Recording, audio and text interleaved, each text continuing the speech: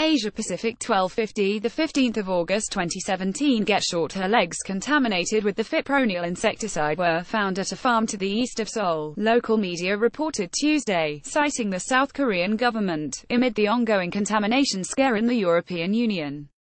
Moscow Sputnik, the fipronil insecticide was found in some eggs at a farm in the city of Namyangju on Monday, the Yonhap news agency reported, citing the Ministry of Agriculture, Food and Rural Affairs. The ministry has not specified how many eggs tested positive for the fipronil insecticide.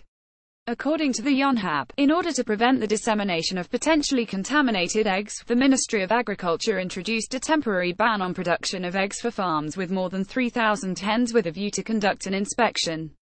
South Korea's top convenience store chains announced their decision to halt sales of eggs pending the results of the government's inspection as a precaution, according to the report. Millions of chicken eggs have been recalled in past weeks from shelves in European stores over fears that they might have been contaminated with fipronil.